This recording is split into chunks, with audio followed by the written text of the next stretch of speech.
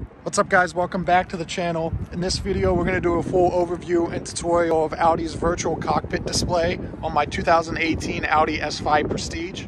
I've gotten a couple requests to do this video, and uh, honestly, it's one of my favorite features of this car, so I figured I'd go ahead and do it. So if you guys are new to the channel, like I said, this is my 2018 Audi S5 Prestige Coupe. Picked it up a couple weeks ago, still learning everything about it, uh, but I absolutely love it. I have a couple other videos of it on my channel if you want to check that out. But with that being said, let's go ahead and get on started.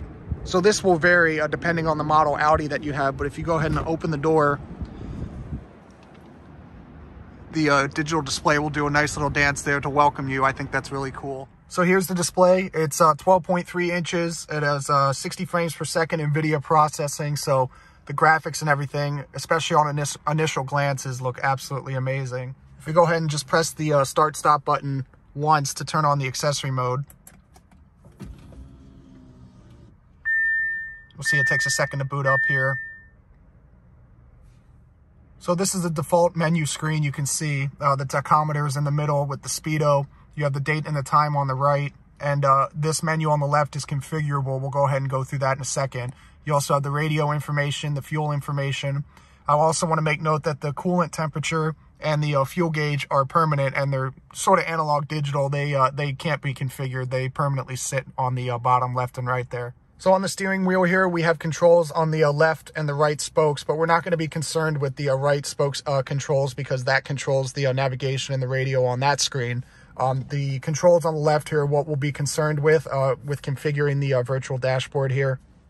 So the main uh, button to kind of configure everything are these two arrows here. Um, and if you go ahead and click this one to the right, you can see that you can go through various menus on the top. You see those four menus. The first one right here is kind of the trip information. And I'm scrolling with this little wheel here. You can see the traffic sign info, driver assistance. You have a ton of different uh, little menus you can go through here. So that's the first menu. If we go ahead and click the arrow to the right, you can see it goes to our radio information. And similarly, you can scroll with the little wheel here, go, go through the various stations. And uh, as you would expect, if you have an external audio source connected like Apple CarPlay or Bluetooth audio, uh, that track information will be shown in this display as well.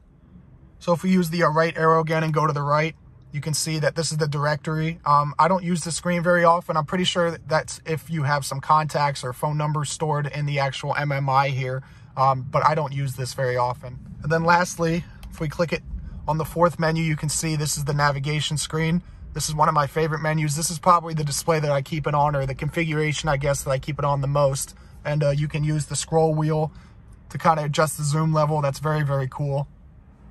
And uh, arguably the coolest feature of this uh, virtual dashboard here is this view button right here. So if we go ahead and click it, you can see the full map display shows up. That is absolutely amazing. And what this view button basically does is make whatever that side menu is on the uh, left kind of full screen. So if we scroll back to left, for example, to directory and then hit view, you can see that becomes full screen. Or if we scroll to the left again, the radio information or the trip information, all of those menus become kind of take, well, kind of take up the entire display. And whatever menu you're in, obviously the uh, scroll wheel retains its functionality so we can go through the various menus we go to radio using the scroll wheel, we can go down and up to select whatever station. The directory, you can probably scroll through, through your contacts using this wheel. And then with the map, I think I mentioned before, but you can use it to uh, zoom in and out. And so in a respective menu, you can probably see those little tabs on the uh, left and the right. That corresponds to these uh, on the steering wheel. So if we go ahead and press to the right, you can see it brings up various map uh, settings. And if we go ahead and hit return and we go to the left, you can see last destinations favorites, just kind of quick accessibility shortcuts that are really useful.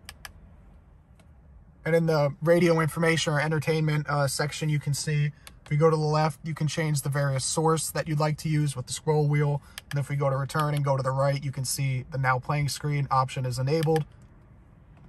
And lastly, on the kind of main screen or the uh, default screen, if we go to the right, you can see the additional display. This is where you can select what you'd like that little display on the left to be. Right now I have it to distance driven, but you could have it to the date, the driving time, the average speed, whatever you'd like. And uh, another cool feature that I actually just figured out on the uh, left of the uh, main screen here, you can see trip computer lap times. This is one of the coolest features. I have not used this, um, but I think it could be pretty cool. And then lap statistics where you can kind of store other data.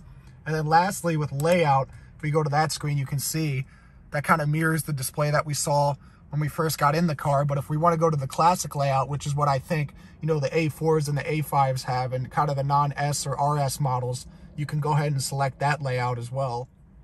So if we go ahead and click on that, it's going to say that it's going to take a few seconds, but we'll hit yes.